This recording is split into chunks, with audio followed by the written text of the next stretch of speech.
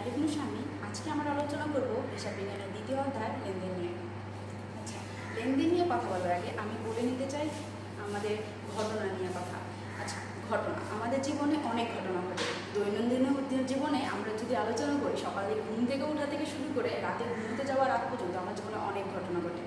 এখন, এসব ঘটনাই কি লেনদেন? না, লেনদেন হতে গেলে যেটা যেটা সব থেকে বেশি বৈশিষ্ট্যপূর্ণ সেটা হলো টাকার অঙ্কে পরিমাপযোগ্য। লেনদেনের যখনই ব্যাপার আসবে, সেটা যদি হিসাব বিজ্ঞানে হয়, তখনই আসবে যেটা জিনিস, সেটা হলো টাকার অঙ্কে পরিমাপযোগ্য এবং আর্থিক অবস্থার পরিবর্তন করবে। এখন বলি, আর্থিক অবস্থা পরিবর্তন বলতে কি বোঝায়? আর্থিক অবস্থার পরিবর্তন বলতে এই যে আমাদের আমাদের আমাদের দোকানপাট আছে, এত দোকানপাট আছে, এত দোকানপাটে আমরা যখন যাই, আমরা যাওয়ার পরে একটা জিনিস কিনি, কেনার সময় আমরা কিন্তু টাকা দিই। এখন আমি যখন টাকা দিই, আমার কাছ থেকে কিন্তু টাকার কমতি হয়ে যায়। আমি যদি একটা জিনিস কল্পনা করি, আমার কাছে ছিল দশ টাকা, আমি পাঁচ টাকা দিয়ে একটি কলম কিনবো, আমার কিন্তু পাঁচ টাকা কমে যাবে। বিনিময়ে আমি একটা কলম পাবো, এখানে বিনিময় অবশ্যই থাকবে, কিন্তু বিনিময়ের একটি, দুইটি পক্ষের মধ্যে একটি পক্ষ টাকা দিয়ে উপকৃত হবে আর একটি পক্ষ টাকা দিয়ে, টাকা দিবে আর কি। দুইটি পক্ষ থাকবে, তো হিসাব হিসাব মানে লেনদেন বলতে কি বোঝাবে? দুইটি পক্ষ থাকবে, দুইটি পক্ষের একটি পক্ষ আরেকটি পক্ষকে উপকৃত করবে এখন দুইটি পক্ষ উপকৃত করার ব্যাপার তখনই আসবে যখন সেটা টাকার অঙ্কে আসবে। আমি যদি এখনই দোকানে যে একটি কলম কিনি, তার মানে কি আমি যখন পাঁচ টাকা দিয়ে কলম কিনবো, সে পাঁচ টাকা পাচ্ছে। তার কাছে টাকার অঙ্কে পরিমাপ, টাকার পরিবর্তন ঘটছে। আমার কাছেও পরিবর্তন ঘটছে। দুইটি পক্ষ থাকতেছে, একটি পক্ষ টাকা দিচ্ছে আর একটা পক্ষ নিচ্ছে। একটা ক্রেতা এবং বিক্রেতা। খুব সহজ ভাষায় বলতে গেলে হিসাব বিজ্ঞানে লেনদেন বলতে বোঝাবে যখন টাকার অঙ্কে পরিমাপযোগ্য যে কোনো ঘটনা আমরা আর্থিক অবস্থার পরিবর্তন ঘটাবে তখন সেটাকে আমরা লেনদেন বলব।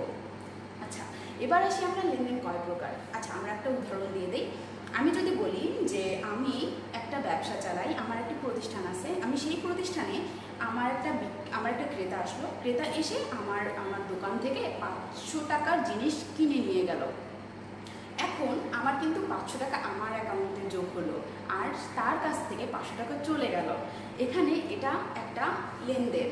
কিন্তু আমি যদি এটা বলি যে আমার, আমি সিঁড়ি থেকে নামতে যেয়ে আমি একটা কোম্পানি চালাই, কিন্তু আমি সিঁড়ি থেকে নামতে যে আমি আহত হলাম। সেটা কি আদৌ লেনদেন হবে? প্রশ্ন থাকল তোমাদের কাছে। আচ্ছা এরপরে আসি লেনদেন কয় প্রকার? লেনদেন দুই প্রকার, অভ্যন্তরীণ আর বাহ্যিক। আমি যখন একটা প্রতিষ্ঠান চালাবো, তখন নিশ্চয়ই আমার আন্ডারে কর্মচারী থাকবে, আমার আন্ডারে কর্মচারী থাকবে, যাদের সাথে আমার একটা লেনদেন থাকবে, তাই না? এখন তাছাড়াও আমরা যদি বলি, এই যে আমি এই ঘরটা এই ঘরটা আমি আমি আমি যদি বলি যে বানিয়েছি হ্যাঁ? এখন বানানোর পরে আমি যদি এটা বলি যে দশ বছর পরে এই ঘরটা আই মিন এই ঘরের যে ইট বালু, সিমেন্ট, সেটা কি আদৌ সেম থাকবে? এই যে রং, এই ঘরটা এত সুন্দর করে আছে, এই ঘরের রং কি সেম থাকবে? না, রং সেম থাকবে না। তেমনিভাবে আমি যখন আমার, আমি যখন একটা কোম্পানি আমার যখন আন্ডারে একটা ব্যবসা থাকবে, আমার সেই ব্যবসার যদি মূলধন হিসেবে আমি একটা সেলাই মেশিনও কিনি, সেই সেলাই মেশিন কি পাঁচ বছর পরে সেম আমাকে সেই সেম রকমেরভাবে উপকৃত করবে? তা না। সেটা আস্তে আস্তে কার্যক্ষমতা কমে যাবে। এটা হলো তোমার অভ্যন্তরীণ লেনদেন। আচ্ছা তারপরে আসি যে এটা ক্ষমতা কমে যাচ্ছে। আর বাহ্যিক লেনদেন বলতে বোঝায় যে আমি আমার ক্রেতা বিক্রেতার যেটা হয়, ক্রেতা কেনে, বিক্রেতা বিক্রি করে টাকার বিনিময়ে। যখন সেটা টাকার বিনিময়ে হবে হ্যাঁ এখন তোমাদের মধ্যে প্রশ্ন থাকতে পারে যে আমি যদি বাকিতে কিনি আচ্ছা আমাকে বলো, বাকিতে কিনলে তোমাকে কি টাকাটা ফেরত দিতে হবে না? তোমাকে অবশ্যই ফেরত দিতে লাগবে। সুতরাং সেটাও লেনদেন।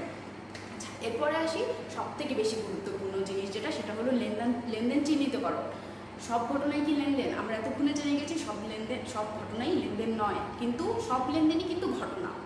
আচ্ছা এবার আসি আমরা বৈশিষ্ট্য নিয়ে। লেনদেনের বৈশিষ্ট্যের মধ্যে ফার্স্ট অফ অল আমরা যেটা দেখছি টাকার অঙ্কে পরিমাপযোগ্য। এতক্ষণে তোমাকে আমরা, আমি এটাই বললাম যে টাকার অঙ্কে একটা লেনদেন হতে হলে ফার্স্ট অ্যান্ড ফরমোস্ট যেটা হবে, সেটা হলো টাকার অঙ্কে পরিমাপযোগ্য। এখন একটা কথা বলি, টাকার অঙ্কে পরিমাপযোগ্য অনেক ঘটনা আছে। যেমন আমি যদি বলি যে হলো ক্রেতা বিক্রেতা একটা জিনিস যদি বিক্রি করে ক্রেতার কাছে, সেটা হবে লেনদেন। আমি যদি এটা বলি যে আমি একটা জিনিস ক্রয় করছি, সেটা হবে লেনদেন। আমি যদি এটা বলি যে হলো বাকিতে কিনছি, সেটাও হবে লেনদেন। ঠিক আছে? আচ্ছা এরপরে আসি আর্থিক অবস্থার পরিবর্তন। আচ্ছা ক্রেতা বিক্রেতার মাধ্যমে অবশ্যই দেখা যাবে যে আর্থিক অবস্থার পরিবর্তন ঘটছে। কীভাবে ঘটছে? আমি যখন ক্রেতা, আমি একটা জিনিস কিনবো, তখন আমার কিন্তু টাকা যাবে। আমার টাকার বিনিময়ে সেই সেই পণ্যটা কিনতে লাগবে। এখন এখানে একটা গুরুত্বপূর্ণ জিনিস, আর্থিক অবস্থার পরিবর্তন, ক্রেতা, বিক্রেতা দুজনেরই ঘটবে, অবশ্যই ঘটবে, একজনের বাড়বে, একজনের কমবে। আচ্ছা তারপরে দ্বৈত সত্তা। দ্বৈত সত্তা বলতে এটাই বোঝায় যে দুইটা পক্ষ থাকবে। অবশ্যই দুইটা পক্ষ থাকবে, যেই দুটি পক্ষ এই লেনদেন ঘটনাটা পরিচালনা করবে।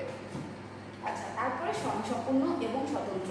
প্রত্যেকটি লেনদেন, আমাদের জীবনে যত লেনদেন আছে বা ব্যবসাতে যত লেনদেন আছে, প্রত্যেকটি স্বয়ংসম্পূর্ণ। একটার সাথে আরেকটার কোনো কানেকশন নেই। প্রত্যেকটা, প্রত্যেকটার থেকে আলাদা। কীভাবে আলাদা? আমি আমার একটা, আমি আমার, আমি একটা ব্যবসা চালাই ফার্স্ট অফ অল আমি একটা ব্যবসা চালাই, আমার একটা ক্রেতা আসলো সকালবেলা। বিকালবেলা যদি সেম ক্রেতাও আসে, তাহলে কি দুইটা, তোমাদের মতো প্রশ্ন থাকতে পারে? দুইটা তো আলাদা না। কিন্তু দেখো একটা জিনিস, সকালবেলা যেই ক্রেতাটা এসেছিল, সে যদি একটা প্রোডাক্ট অলরেডি কিনে ফেলে বিকালবেলা যে আসবে, বিকালবেলা সে এসে কিন্তু সেম প্রোডাক্ট কিনবে না। সে দেখা যাবে অন্য কোনো কিছু জানতে আসছে। হয়তোবা সে অন্য কোনো কিছু কিনতেও আসতে পারে। তো প্রত্যেকটা থেকে প্রত্যেকটা আলাদা। অর্থ বলতে এক সময়ে দুইটা ঘটনা ঘটবে, এমনটা পক্ষ থাকবে দুইটা, পক্ষ দুইটার, একটার হলো তোমার প্রথম থেকে যদি আসি টাকার অঙ্কে পরিমাপযোগ্য হবে। আর্থিক অবস্থার পরিবর্তন ঘটবে। যখন সেটা টাকার অঙ্কে পরিমাপযোগ্য সেটা অবশ্যই আর্থিক অবস্থার পরিবর্তন ঘটবে, ঘটাবে। তারপরে দ্বৈত সত্তা। দ্বৈত সত্তা বলতে বোঝায় দুইটা পক্ষ থাকবে। আচ্ছা তারপরে হলো স্বয়ংসম্পূর্ণ এবং স্বতন্ত্র। প্রত্যেকটি ঘটনা প্রত্যেকটা থেকে আলাদা হবে এবং প্রত্যেকটাকে আলাদাভাবে চিহ্নিতকরণ করা যাবে। তারপরে দৃশ্যমানতা। আচ্ছা ঘটনা কি দৃশ্যমান হতেই হবে? অদৃশ্যমান কি ঘটনা হবে না? আচ্ছা আমি তোমাকে এর আগে বলে দিই, আমি তোমার, আমি তোমাদেরকে এর আগে বললাম না যে হলো ঘটনা আমি সরি লেনদেন দুই প্রকারের একটা হলো বাহ্যিক আর অভ্যন্তরীণ। এখন দেখো অভ্যন্তরীণ যে সকল ঘটনা আছে, আমি যদি বলি, এই ঘরের কালার দশ বছর পর বা বিশ বছর পর সেম থাকবে না, তাই না? বা আমি যদি একটা সেলাই মেশিন কিনি সেলাই মেশিন দশ বছর পরে আমাকে সেম রেজাল্ট দিবে না। আমাকে যেভাবে প্রথম কেনার পরেই আমাকে যেভাবে সে আউটকাম দিচ্ছিল, সেভাবে কিন্তু সে দিবে না। তার মানে কি? প্রত্যেক জিনিসের ক্ষয় হচ্ছে।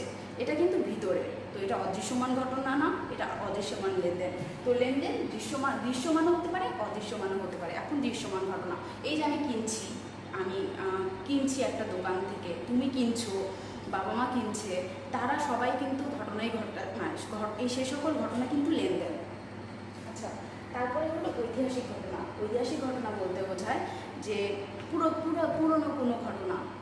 এমন হইতেই পারে যে যে ঘটনা যে আমি একজনের কাছে, আমি যেহেতু একটা দোকানদার বা আমি যদি বলতে পারি যে আমি একটা ব্যবসা সো আমার, আমি বিক্রেতা যদি হই, আমার ক্রেতাকে আমি দশ হাজার টাকার জিনিস বাকিতে দিয়েছি। এটা কিন্তু এখনকার ঘটনা না। কিন্তু এটা লেনদেন। কেন লেনদেন? সে আমাকে আজকে হোক, কালকে হোক, দশ বছর পরেই হোক, সে কিন্তু আমাকে টাকাটা ব্যাক করবে। এটা একটা ঐতিহাসিক ঘটনা, আগের ঘটনা, কিন্তু সেটা লেনদেন।